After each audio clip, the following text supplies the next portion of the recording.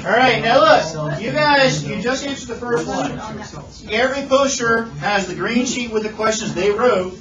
So now what you're going to do is you have your yellow sheets where you're answering their questions. It's time to switch. Ready, rotate.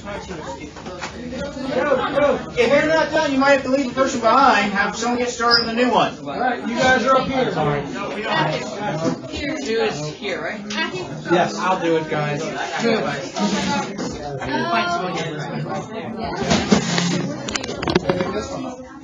Okay, so what we're doing is rotation. We've been doing, every group wrote all their answers on a a poster, and they made a picture. It's a cell-poster project, so now what they're doing is going station to station, answering all the questions they made. So they to make a poster, draw and label, write information, and then make a quiz question. Now each group is answering the questions.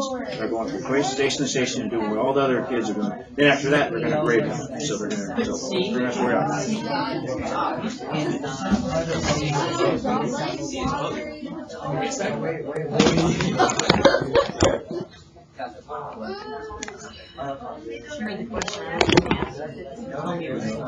And that's Mr. Matheny in the back. Proceed.